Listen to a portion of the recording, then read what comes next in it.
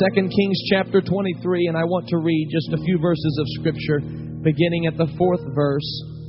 It simply reads, And the king commanded Hilkiah the high priest, and the priests of the second order, and the keepers of the door, to bring forth out of the temple of the Lord all the vessels that were made for Baal and for the grove, and for all the host of heaven, and he burned them without Jerusalem in the fields of Kidron and carried the ashes of them unto Bethel. And he put down the idolatrous priests whom the kings of Judah had ordained to burn incense in the high places, in the cities of Judah, and in the places round about Jerusalem. Them also that burned incense unto Baal to the sun and to the moon and to the planets and to all the host of heaven. And he brought out the grove from the house of the Lord without Jerusalem under the brook Kidron and burned it at the brook Kidron. He stamped it small to powder and cast the powder thereof upon the graves of the children of the people.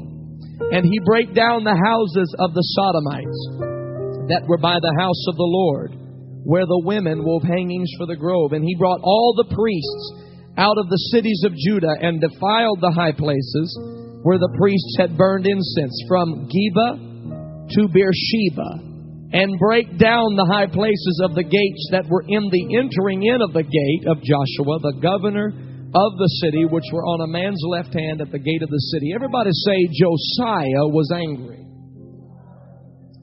Josiah was angry, and it, and it, gets it goes on, verse number 14. And he brake in pieces the images, Josiah did. He cut down the groves.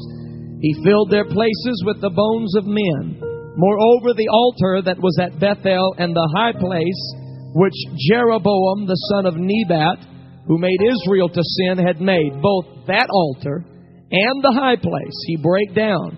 He burned the high place, stamped it small to powder. He burned the grove. He was in the process of executing righteous indignation. And as Josiah turned himself, he spied the sepulchres that were there in the mount, and sent and took the bones out of the sepulchres, and burned them upon the altar, and polluted it, according to the word of the Lord, which the man of God proclaimed, who proclaimed these words. Then Josiah said, What title is that that I see? And the men of the city told him, It is the sepulchre of the man of God, which came from Judah and proclaimed these things that thou hast done against the altar of Bethel. And he said, Let him alone. Let no man move his bones. So they let his bones alone with the bones of the prophet that came out of Samaria. There were two sets of bones in that sepulchre. And I would like, by the help of the Holy Ghost, to preach to you on this subject this morning buried with the bones of the prophet.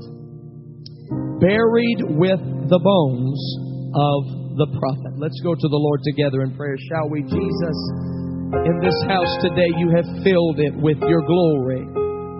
You have filled it with your presence. I ask, Holy Ghost, that you would continue to move, continue to flow, O God. Let the power of your Spirit move upon your people, I pray.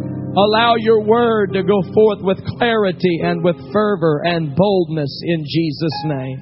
God, we give you the praise and the glory for it. In the matchless and the omnipotent name of Jesus, we pray. And everyone said, In Jesus' name. And everyone said, Amen. And amen. God bless you this morning. You may be seated in the name of the Lord. He was laying upon his deathbed and made one final and very unique request of his children and grandchildren and even further down the line. He said, I know that we are now living in a place called Egypt. But I want you to understand it is my desire that as though I'll be buried in Egypt, that goes without saying, it is my desire that when the promise of God is fulfilled, that we will be taken from this land of captivity and placed into a promised land. I want you to promise me that you will unearth my bones, gather my bones together, and carry me along with you when you leave this land. Should it happen 200 years from now, yea, 400 years from now, whenever it happens, whenever we're freed, I want you to take my bones with you out of Egypt and into the land of promise. Quite an interesting request, and amazingly enough, parents passed this request on down to their children. And those children passed this request of the patriarch Joseph on down to their children. And on the news traveled through generational lines. How important it is to pass the message down through generational lines. And when it finally came to the time where it was the moment that the children of Israel would be taken out of Egypt and brought into a place where God would lead them into the promised land, that a man of God by the name of Moses remembered among, amongst the chaos. You must remember there was great chaos in the day of the Exodus. The water was turning to blood. The, the locusts were multiplying at a rapid rate and filling the land. The, the uh, cattle was stricken with incurable and mysterious illnesses and and and Moses somehow had the presence of mind even though Pharaoh's heart was continually flip-flopping from being hardened to being to being tenderized and yet Moses had the presence of mind to say before we leave Egypt we've got to gather the bones of our father Joseph and they did just that. They gathered up the bones of the patriarch Joseph. They left Egypt with the bones of the prophet Joseph. And, and, and they served, I'm sure, a very valuable purpose, even beyond honoring the request of Joseph. But in the area of being able to refer to them, to children and to their children, that here lie the bones of a great man of God, that loved God, that was dedicated to God that gave his life to the will of God. And this, these bones represent a legacy worth aspiring to. These bones represent a life that was well lived, the life, the likes of which we should have ambition to live after. And so they served a great purpose even beyond honoring the request of Joseph. And, and, and bones are not mystical. They're, they're, they're not this whole thing about carrying the bones. It was an honoring of a life that was lived. We do the same thing by putting bones into a casket when a loved one passes away, finding a place for them in either a graveyard or a mausoleum. And then when we go to these places, we ask our children to tone their voices down and kind of slow their feet so that we can give proper respect to those that have passed on. What are we respecting? Are we respecting their bones? No, not in and of themselves. We are respecting the life that was lived that is represented by the bones. And so we simply say we have no tangible connection to this individual any longer.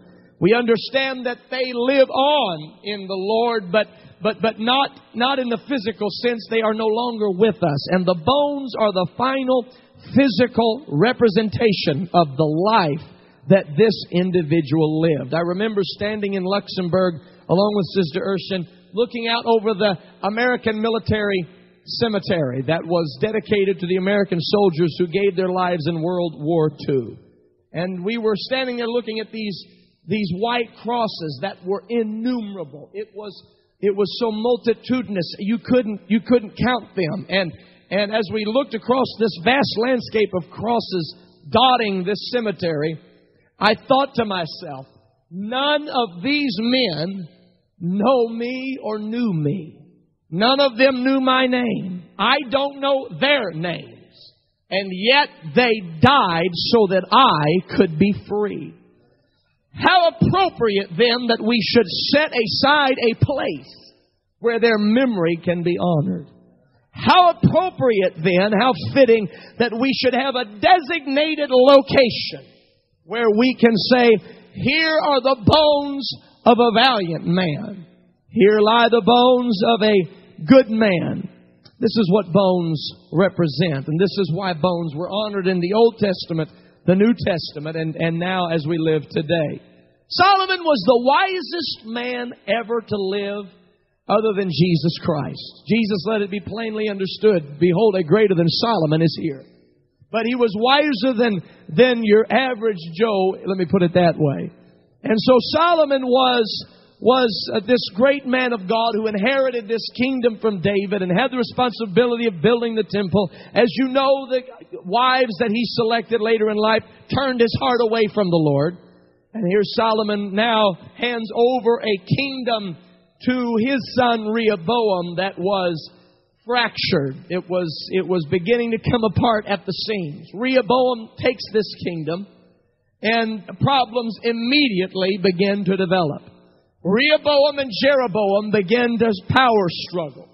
And factions begin to feel that, uh, that they're wanting to go a different direction. All of a sudden, Jeroboam decides that there needs to be a division in the kingdom. Rehoboam and Jeroboam have a division in the kingdom. Judah and Israel begin to develop autonomy, each of them. There were efforts to reunify, but they were futile. And Jeroboam at first was open to the idea. And then he decided that, you know, I don't necessarily want this after all because I don't want to go back to being a secretary in Rehoboam's cabinet. I, I kind of like being the king of, of Israel. I'm enjoying the pomp and the circumstance and the perks and the privileges. And so Jeroboam just decided that he was going to stay on that side of Israel. There's a problem, however, because the scripture says that one day a year, every year, all of the children of Israel that had ever walked the earth were expected by the Lord to come to Jerusalem to worship God, to send forth a sweet smelling savor unto the Lord. It didn't matter where they were living, they were expected to come back to Jerusalem. And when they come back to Jerusalem, they are there to give their honor and their allegiance and their worship to God. This was bad for Jeroboam because Jeroboam would have lost his power if people started going back to Jerusalem and remembering all of the wonderful feats that God had performed in their life. If people started going back to Jerusalem and remembering and seeing all of the sentimental things that reminded them of how wonderful God really is. So Jeroboam came up with a plan. I'm going to establish another form of worship. I'm going to put an altar, one in Bethel, and I'm going to put an altar in Dan. I'm going to build golden calves. And on the eighth, the fifteenth day of the eighth month of every year, Instead of going to Jerusalem, people can come to Bethel or they can come to Dan and they can worship God in Bethel and in Dan, golden calves. People did just that. He made Israel to sin.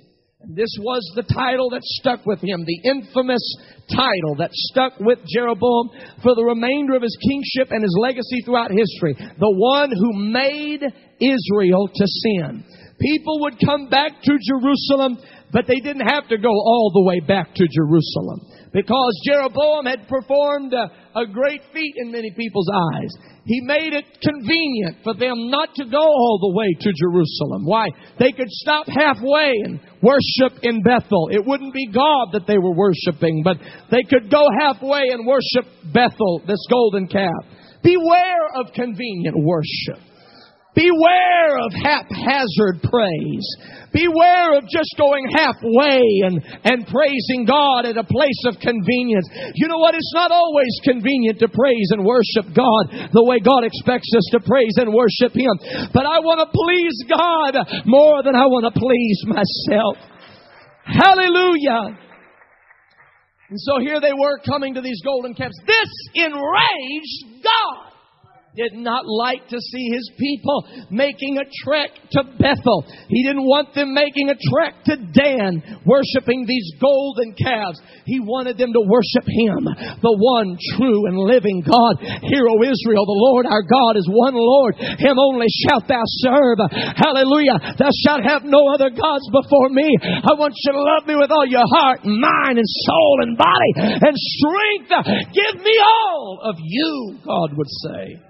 And so they come to Bethel and they go to Dan. They worship idols. They worship idols. And, and then finally, God was so enraged that he began to deal with the mind of a young prophet. And he said to this prophet, He said, I want you to go prophesy to Jeroboam.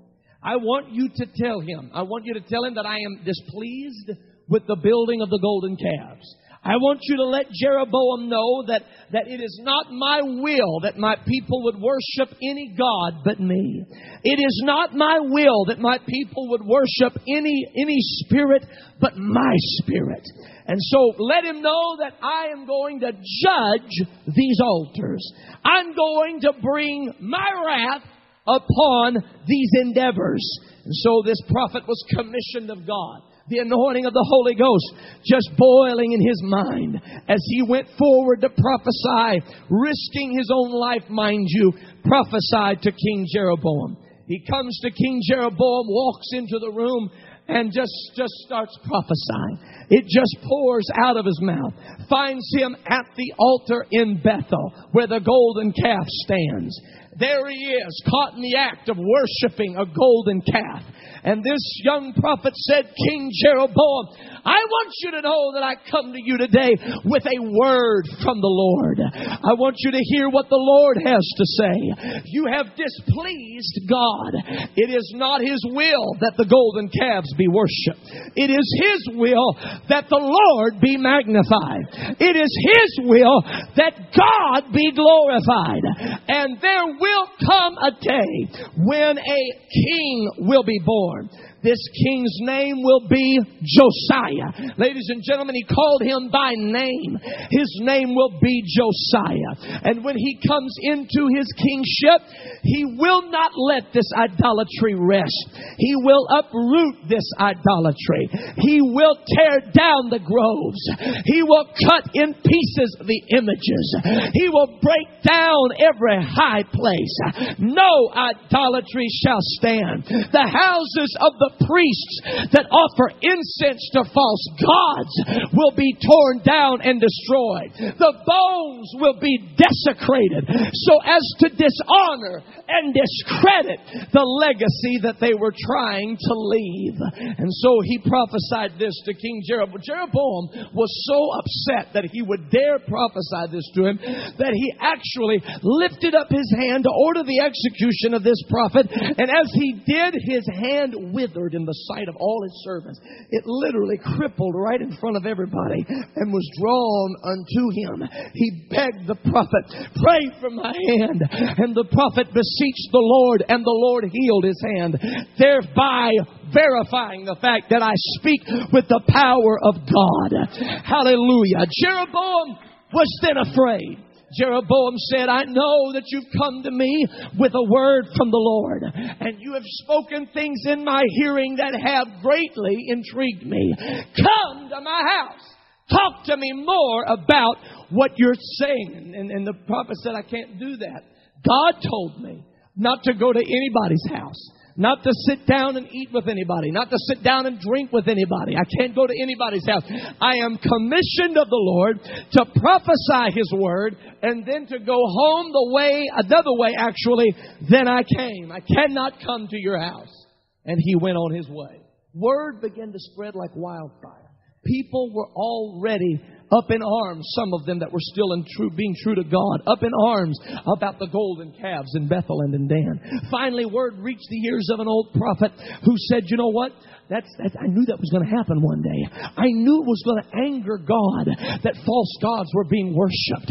I knew it was going to make God sad and displeased and, and filled with wrath that there were false gods and false idols being exalted above the name of God. And so, so, so he said, somebody find that prophet. I want to talk to him. So they found the prophet sitting under the shade of an oak tree. And when they did, he said, I want you to come to my house. I can't come to your house. You have to come to my house. I want you to talk to me more about this king that's coming, that's going to uproot the idolatry in the land. This king that's coming, that's going to tear down the groves and break down the images. This king that's t- come and, and, and talk to me in my house. I can't come to your house. God said no. But I'm a prophet too, and it's all right. And he said, okay, I'll go to your house. When he goes to the prophet's house, they sit down at the table, and the old prophet was, was, was anxious to hear more about what the Lord had said. He said, So what was this king's name? Will I see him? Will he be in my children's generation? When, when is this going to happen? I'm excited to see revival restored in the land. I'm excited to see, I want to see the temple of the Lord established in the land. I'm ready to see some real worship. I'm ready to see an altar of incense. I'm ready to see a holy of holies. When is this going to happen? And the young prophet and he were talking, and all of a sudden the Lord spoke to the old prophet and said, You were too anxious that you thought that obeying my word was not applicable to you. And he absolutely, he absolutely was stunned with fear as he realized that he had endangered the life of this prophet. He said to him, You are going to die now by a vicious beast on your way home. The young prophet went his way. And sure enough, a vicious beast came out of nowhere, attacked him, killed him. And the old prophet could not rest. He wanted to know what happened to the young prophet. Couldn't even, couldn't even, couldn't even be content by himself. And so he gathered up some servants and they went on their way. We've got to find this man. They tracked down the direction he would have traveled. And when they arrived at this very sinister place, at the head of a body was the mule that he was riding. At the foot of this body was the lion that killed him.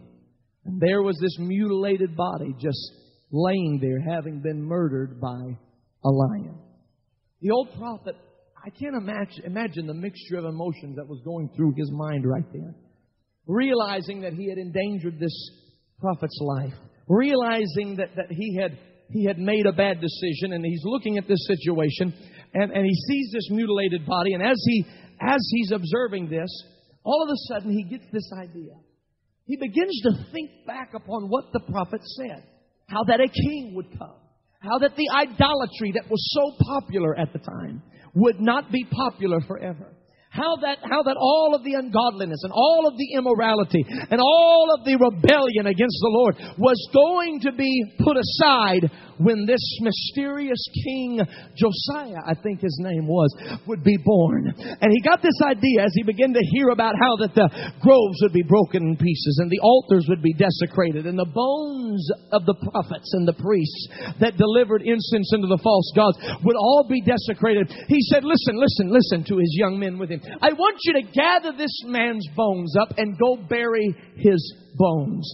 And when you do that, I want you to mark the grave because when I die, I want you to bury me with the bones of the prophet. Make sure that when you bury him, you mark the grave with a plaque because I want to be buried with the bones of the prophet. One book and ten chapters later, there's a little baby born in the king's house. They named the baby Josiah. All of a sudden, the wheels of prophecy begin to turn. Slowly but surely, the providence of God comes into effect. And everybody was drunken in their intoxication of immorality. Everybody was drunken with their insistence on rebelling against the Lord. And yet this wheel of prophecy began to go into motion this young king at eight years of age, it was almost like God couldn't wait to start the process. At eight years of age, the horn of oil is tipped over his head and it falls on his head and drips down over his face and onto his garments. And, and Josiah becomes the king over the people of God. And Josiah begins to operate in his kingship. Finally, several years later in the reign of Josiah, somebody was just kind of shuffling around in the old temple. They didn't need it like they used to need it, you see. It wasn't used for worshiping Jehovah anymore. And as they were just kind of moving around in the temple, they found some scrolls and they brought it to the king and they read these ancient writings in his ears and this king is hearing what they write what the writings say. These are the books of the law. These are the words of God. These are the words handed from Moses to the people of the Lord. And as he hears these words it startles him to realize how far they had drifted from the plan God originally had for them. So these words are coming forth from these pages, and these writers are just reading it off. He can't believe what he's hearing. He knows how many idols are in the city. They're under every green tree. They're on every high hill. They're in living rooms. They're in marketplaces. They're on, on street corners. Everywhere you look, there's idols, idols, idols, idols. And here in black and white, it says, Thou shalt have no other gods before me.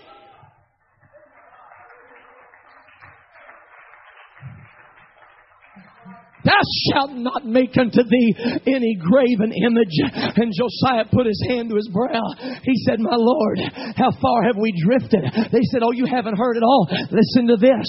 Hear, O Israel, the Lord our God is one Lord, and Him only, Him only, Him only, Him only, Him only, Him only, Him only, Him only, Him only shalt thou serve.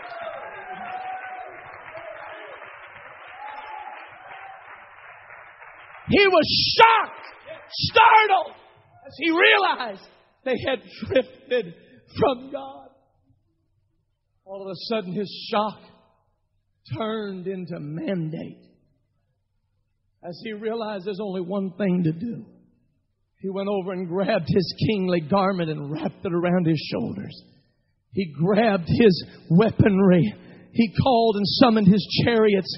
He went and took his crown grabbed his scepter, he began to move into a position of executing the judgments of God. Now the prophecy train was full steam ahead. Josiah walks into the land of God's people and he begins to do exactly what the prophet said he would do. He begins to uproot every grove. He begins to cut down every high place.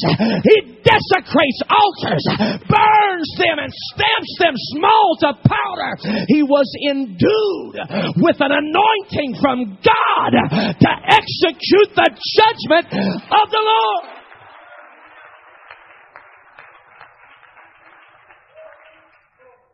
As he's operating in this realm of divine unction, he's almost wild. He's just breaking stuff. Even if it doesn't have to be broken, he breaks it. He's breaking limbs off of trees. He's just, he's just, he's just in a rage, a righteous rage, doing what God wants him to do. And he's just breaking down idolatry. It'll never resurface in this land. I don't want to hear it. I don't want to see it. I don't want to smell it. I don't want to think it. I want it out of this land and I want it out now.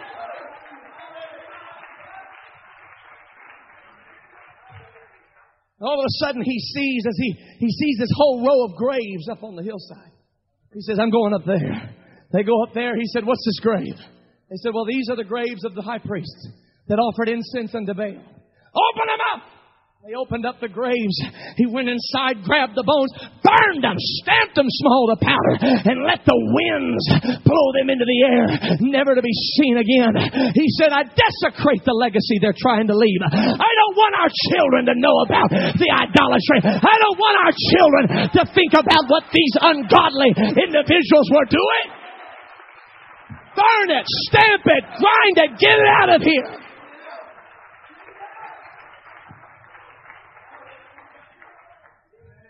And he just, every sepulcher, open it up, roll away the stone. He went inside, grabbed more bones. Here's more bones.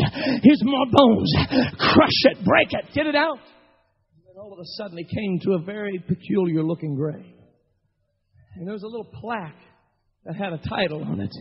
Evidently, it was in an ancient language that Josiah was not familiar with because he said, What title is that that I see? And they said, Well, now let's try to read what it says. It says here that in this grave lie the bones of a man of God that prophesied that what you're doing right now would happen one day. You mean that the bones of the prophet that said I would do what I'm doing right now, uh, they're inside this grave? Yes, yes. Do you want us to break those bones? Can we break them, Cain? He said, No, you can't break those bones. I want those bones to last. I want those bones to be preserved. I want that legacy to live on. I want that aspiration and that ambition to be everlasting. That old prophet knew exactly what he was doing when he was looking at the bones of that young prophet. He said, If there really is going to be a King Josiah, and he's really going to tear down the idolatry, and he's really going to remove all the high places and he's going to desecrate the bones of these high priests. I don't want my bones to get mixed up with their bones. So make sure when I die, you bury me with his bones because he's going to last. Wow.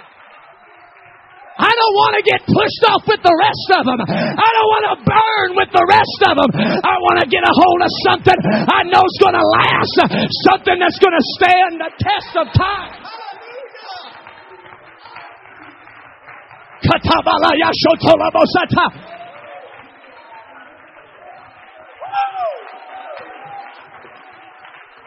Come on, I know it's not popular to be one God right now. I know it's not popular to be pure in the Holy Ghost right now. I know it's not popular to live for God right now. But one day, one day, one glorious day.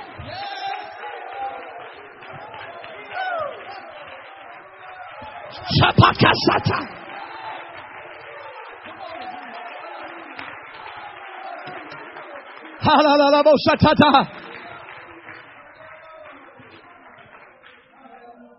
You've got to get a hold of something that you know will stand the test of time. Don't mess around with things that are going to just filter through. You got to get a hold of something that's going to stand strong. Get a hold of something that's going to last forever. Hallelujah. You know what's going to, can I preach to you? You know what's going to last forever? Heaven and earth shall pass away, but my words shall not pass away. The grass withereth and the flower fadeth, but the word of our God, the word of our God, the word of our God shall stand forever. Ah. My God. Rolling Stone magazine had been paid to run an ad about the new, new international version of the Bible. They wanted to reach a segment of society that would be reading Rolling Stone magazine. When the push came to shove, Rolling Stone magazine said, We're not going to run an ad in our magazine about any version of the Bible. It is not relevant to this generation. It is not in, it is not on the same page as what we are wanting to espouse. And so, since the word is so antiqu- antiquated, and since the Bible is something that is just a far distant cry from what people really are wanting today, we don't want to run it in our magazine. You know what, Rolling Stone? You can choose to do that all you want, but the word still stands. The word still stands. It may not be popular right now. It wasn't popular when that old prophet was looking down at the body of that young prophet. Everywhere around him, people were worshiping worshiping other gods. Everywhere around him, people were living in immorality and sinfulness and shame.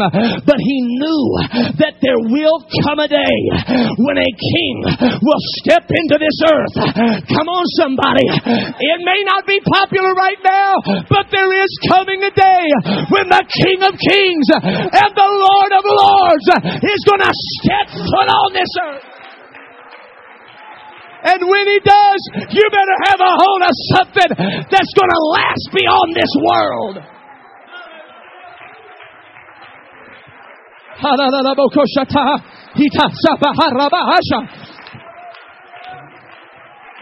Come on, I gotta get a hold of this book. I gotta get a hold of this Word of God. I got, it doesn't matter if my friends don't think it's popular.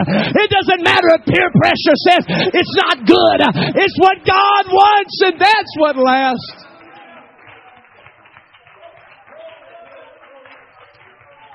Yeah. You got to get a hold of something that lasts. When we're looking for a spouse, we don't look at their bone structure. We look at their skin, their eyes, their hair. That's what we're looking for. But I'm going to tell you the skin's going to pass and the eyes are going to pass, and the hair is going to pass, but the bones will stand forever. The bones last and stand the test of time. You better get a hold of something that stands the test of time. You better get a hold of the bones of the prophet. We've got to be buried with the bones of the prophet.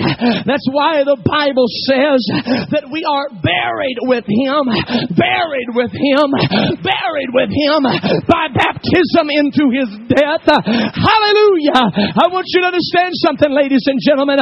There are things that last, then there are things that are just temporary. Let me tell you what lasts. The church lasts. The body of Christ lasts.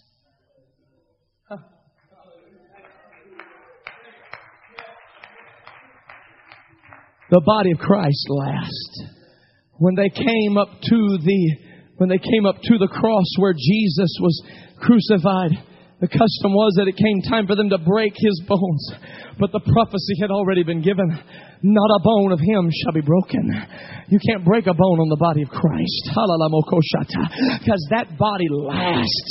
You can't break a bone on the body of Christ. They wanted to, but prophecy was against them.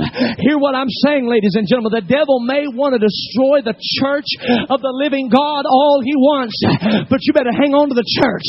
Hang on to the kingdom. Hang on for all you're worth.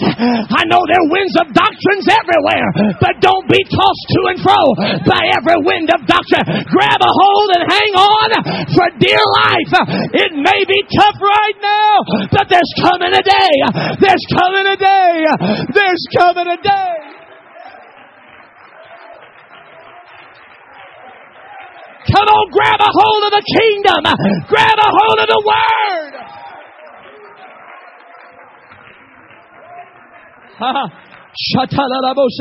I'm hanging on to this relationship with God. Hallelujah. I want you to understand something, ladies and gentlemen. When Abel came out of that Garden of Eden, when Abel was born unto Adam and Eve, he offered unto God a more excellent sacrifice than Cain. I want you to know that when Noah came off the ark, he came off praising and worshiping God. Hallelujah.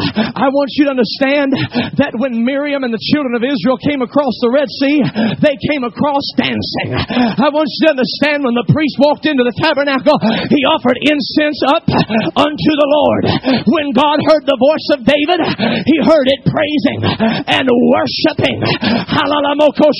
Hallelujah. When the children of Israel walked around the walls, they shouted and the walls came tumbling down. When Jesus rode in on a donkey, the Bible says they wave palm leaves and say, Hosanna! Hosanna! Hosanna! Oh, that's just emotion. That's just emotion. No, it's not emotion. It's bigger than emotion. It lasts forever. John saw in the heavens 10,000 times 10,000 and thousands of thousands singing, Worthy is the Lamb. Worthy is the Lamb. Worthy is the Lamb. Worthy is the Lamb.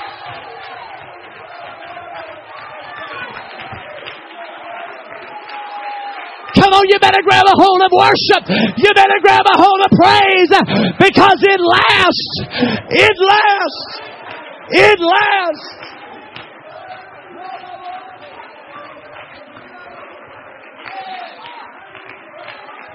It stands forever. Oh. Come on, let's give him glory. Come on, let's give him glory. Come on, let's give him glory.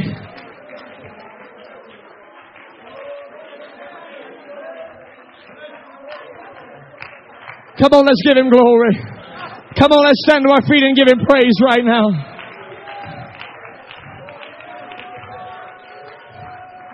Oh. Oh.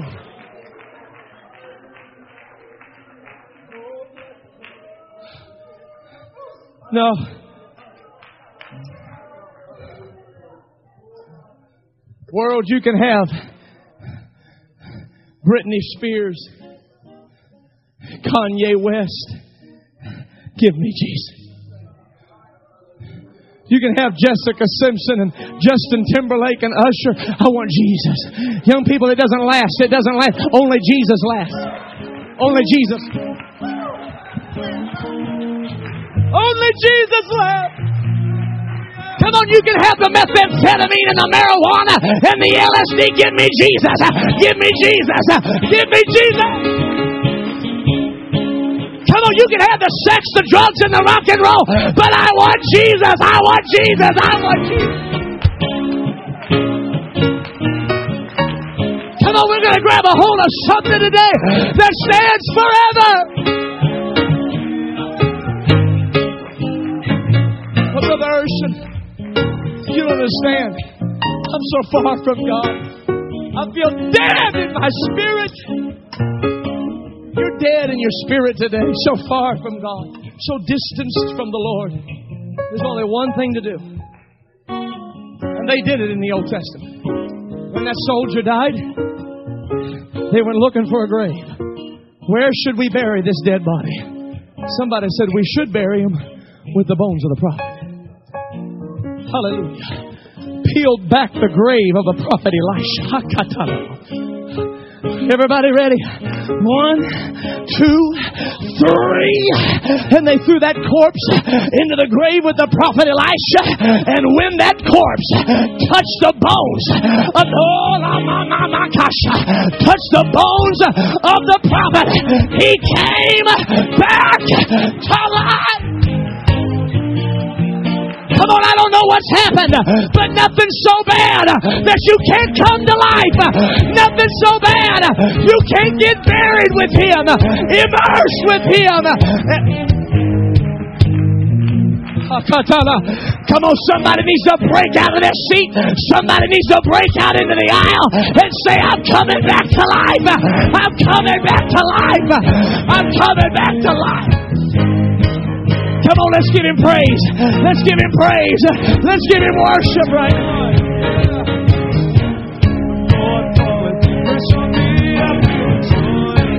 Come on, that's it.